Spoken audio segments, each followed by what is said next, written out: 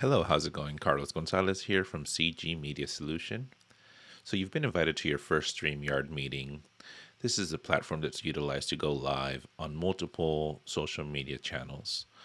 Um, you are probably receiving a link from the host to participate in their upcoming event or upcoming live stream. So, let's do a quick demo today to show you what that guest experience will look like. You're going to click on the link that you received from the host. It's going to bring you to this uh, landing page that we're seeing in front of us. The landing page is pretty easy. You're going to want to select a couple of things. One is you're going to want to type in the display name. This is what's going to go live to the audience. So be mindful of your full name, your title potentially, and the company that you represent. So I'm showing that here being separated by this little uh, slash icon here. So you go ahead and you can do that. Uh, the next thing you want to do is you want to go into the gear icon and you want to select the camera that you want to use for this particular event. So you have an opportunity to use the onboard camera if you're using a laptop or a desktop. If you have external cameras via USB capture cards, those will also show on here. Uh, so you go ahead, you select the camera that you want to use. You also want to go ahead and select the audio that you want to use. It is highly recommended that you use headphones and a mic set that comes with those headphones. This is going to help with echo cancellation or with um, just reducing noise. Once you've done that, you're going to go through here. You're going to select the appropriate mic, the appropriate speaker. If you have your own green screen and you want to try that as well, you can bring in your own green screen with its own um, sort of background design. Once you've selected that, you can come out here, you can select unmute. You see how that mic is working now there. You can start camera. You can see the camera is now active based on my selection. But let's say you don't want to have your camera on, or there'll be moments where you'll be uh, turning the camera off. The system will automatically designate this avatar. You can go ahead and edit avatar upload a profile link or a profile picture and add that as your profile picture. So whenever you turn off your video, at the very least, there's a, an image of you and representing who you are for that organization. Once you're ready to move in, you're going to click Enter Broadcast Studio. In here, what you're going to see is a couple of things. On the main screen, you're seeing here is what's actually going to be going live. So you will see real time what the host is transmitting to their audience or your audience. Uh, down below, you're seeing that you're on the backstage.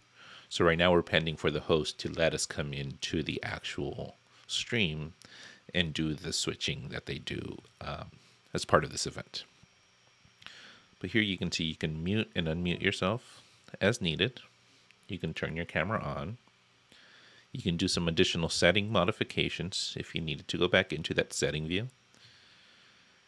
If you're going to be sharing items from your computer, you can do so by clicking on the share button down there. So you have an option to share a video file or you can share your screen. This is great for sharing Google Slides, PowerPoint presentation, a keynote of some sort. You will pull that from there. It's as simple as clicking share screen it's telling you some tips as to like what to do. And then you get the option of sharing your entire screen, sharing an application. You want to make sure that these applications are open so you can have access to options, or you can share a Chrome tab, and that'll be displayed here. If you have audio in any of your slides, you want to make sure in the Chrome tab you're clicking Share Audio and then that'll pop into the studio where the host will then sort of um, have it as a source to share when needed. Furthermore, we have on the right hand side here two options. You have a private chat option and a comment option. So the private chat is an opportunity where you can engage with the backstage individual. So this is going to be the host. If they have a producer, the producer. If there are other guests, other guests, right? So this is an opportunity where anybody that's on the quote unquote backstage will be able to have a dialogue via text.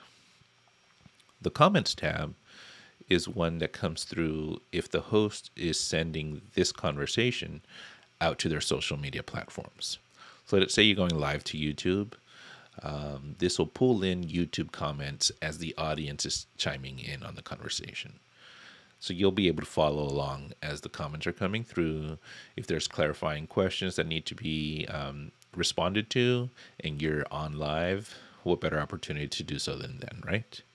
So this is ultimately a quick little guide as to like how to navigate through StreamYard as a guest. I hope this was helpful to you. Once you're done, all you need to do is click on the Leave Studio and you should be good to go. Thank you one more time for your your time. And um, if you have any questions, please don't hesitate in reaching out. I'm at Carlos at cgmediasolution.com.